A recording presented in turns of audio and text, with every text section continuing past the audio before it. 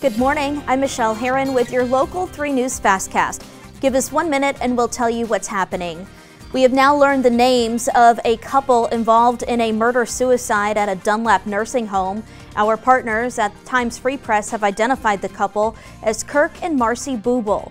Police say Kirk shot his wife, who was a resident at the home, and then shot himself.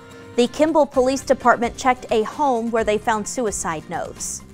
Several people have been displaced after a house fire in Walker County.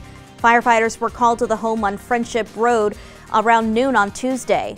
Firefighters quickly contained the blaze. One person was sent to the hospital for burns and one dog died. The cause of the fire is under investigation. The chief of staff for Chattanooga Mayor Tim Kelly says the mayor hopes to pick someone from within the police department to fill the vacant chief role. The mayor's office posted the vacancy for the job and they plan to announce a community advisory committee soon. Take the news with you inside our app and check back with us throughout the day. I'm Michelle Herron. That's your Fastcast. News in one minute.